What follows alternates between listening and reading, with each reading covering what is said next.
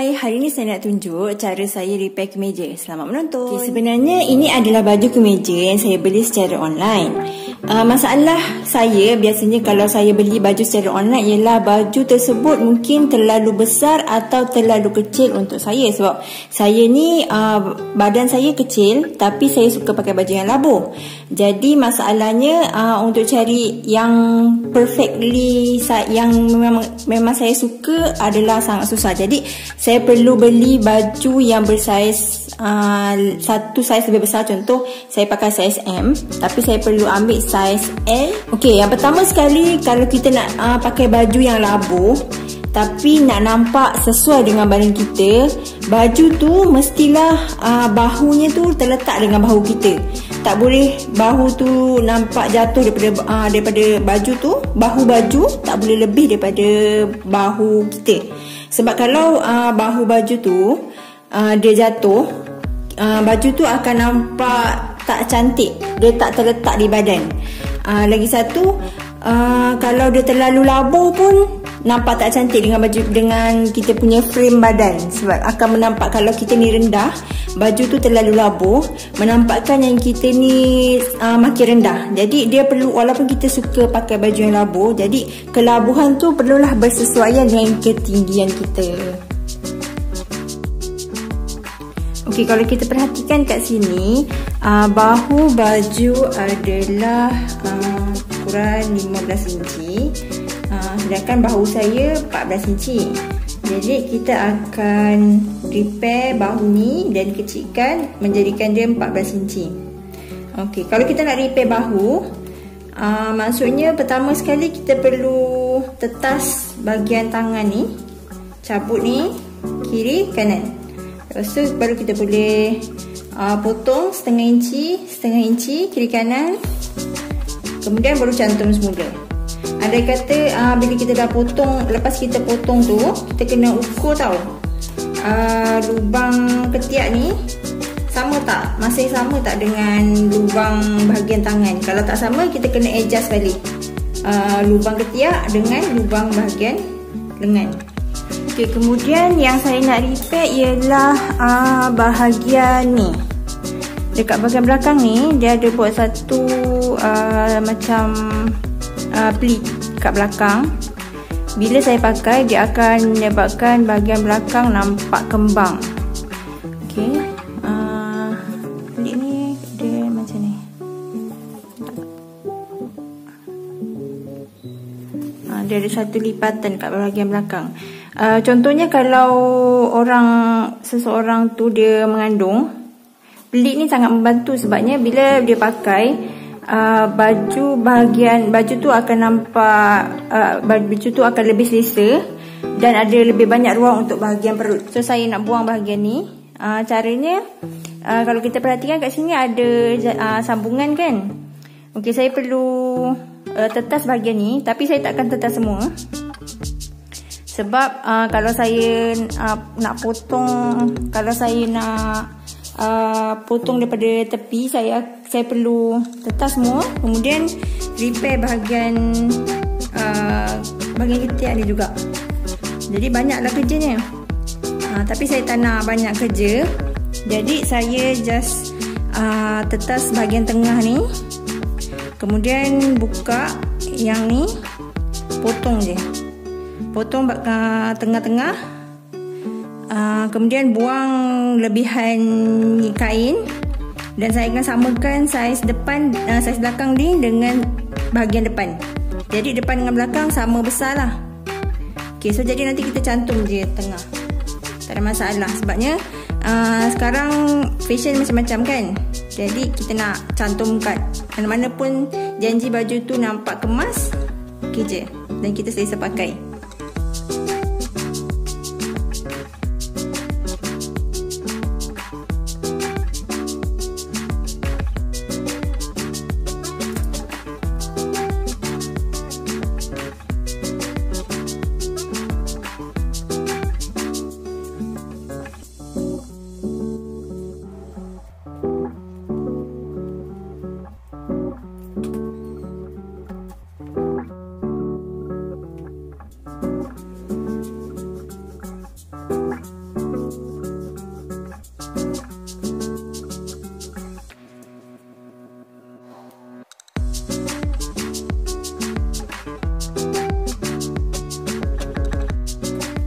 Okey, uh, ini adalah bahagian belakang. Okay, tadi saya cakap uh, bahagian belakang ni saya tak akan tetas, saya tak akan buang daripada tepi. Saya akan buang bahagian tengah. Jadi pertama sekali kita kena dapatkan uh, garisan tengah baju ni. Saya gunakan uh, apa streka untuk dapatkan garisan tengah. Uh, caranya saya lipat dua lipat dua baju and then samakan bahagian jahitan ni. Samakan atas bawah. Kemudian bila dah samakan macam ni. Ha, kita akan ratakan. Ini adalah garisan tengah dia. Jadi saya gunakan streka untuk gosok je. Lebih mudah sebab saya malas nak guna kapur Jadi saya gosok je. Okey, bila saya dah gosok Saya buka semula.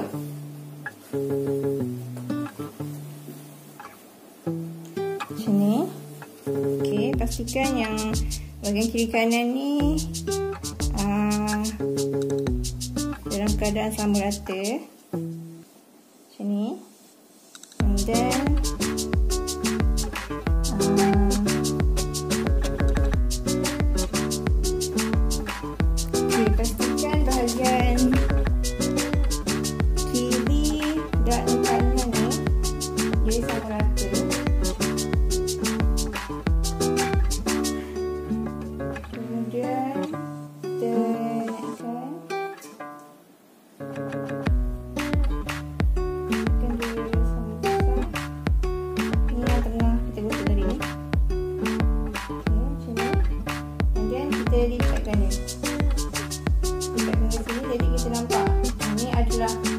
kelebihan kain yang kita kena buang nanti. Jadi saya dah dapatkan bahagian kelebihan kain tu, saya lipat ke tepi. Kemudian saya gosok je dengan streka. Jadi tak perlu nak tanda. Dari atas sampai bawah kita buat cara yang sama. Kemudian kita akan dapat satu satu garisan kalau nampak kat sini bila kita gosok tu kita akan nampak lah bahagian yang digosok tu. Dan ini adalah bahagian lebihan yang kita akan buang nanti.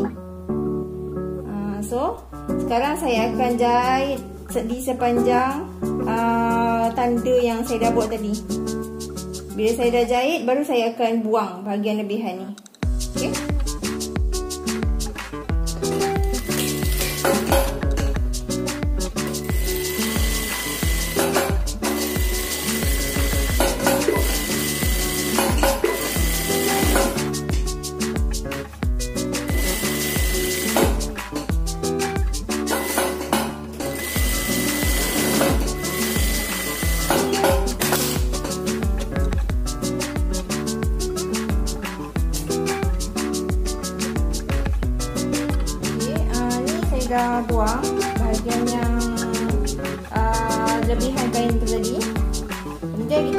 Cantum semula bahagian atas cantum semula bahagian ni